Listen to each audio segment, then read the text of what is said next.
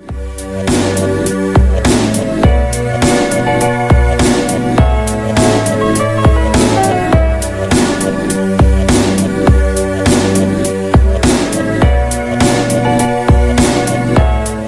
guys, it's Elijah, and I'm back with another video.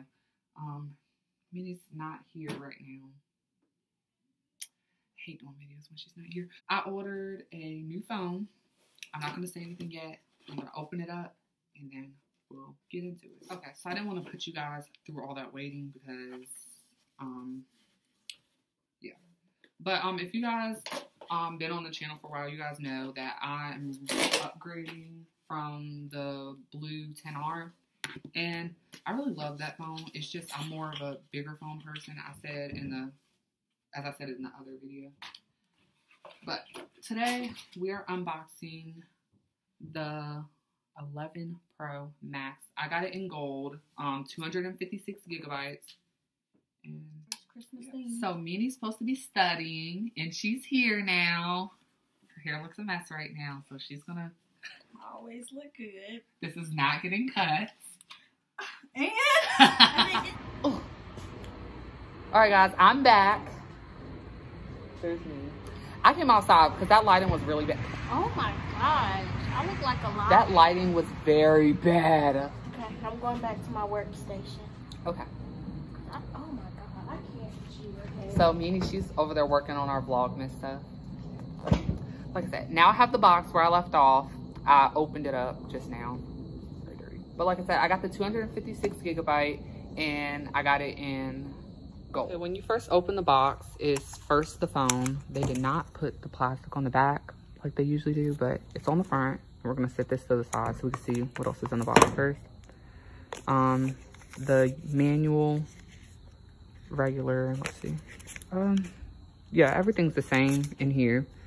And then it has your USB-C fast charging. This comes with the 11 Pro Max and just the 11 Pro, but the 11 does not have it yet. And then your regular headphones and the charger. It makes me so angry that we left our camera at home because now I have to record with my phone. Great. So I'm gonna take the plastic, now we know what's in the box. I'm gonna take the plastic off and turn it on. Okay, so if you guys know me, I'm not good with, while we wait for that to set up. Um, I'm not good with phones. Like, I'm always dropping my phone all the time.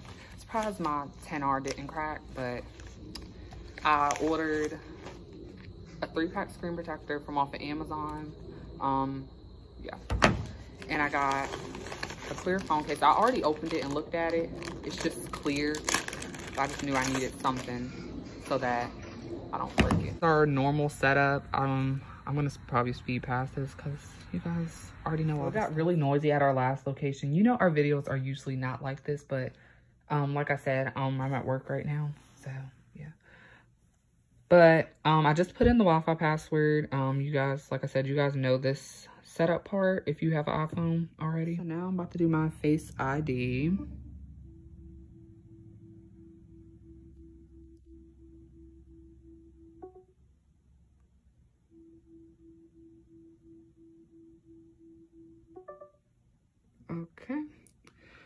Now, enter my passcode. All right, and I'm gonna choose, I use Apple Pay, but for the sake of this video, I'm going to go ahead and skip that part.